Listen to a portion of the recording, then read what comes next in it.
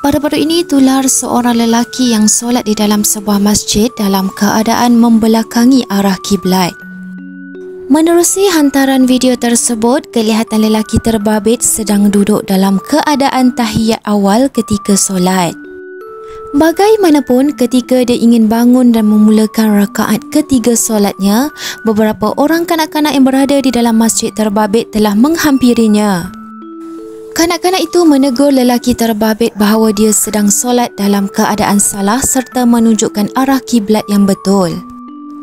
Susulan itu lelaki terbabit terus membatalkan solatnya dan berpaling ke arah kiblat yang sebenar sebelum kembali melakukan solatnya semula.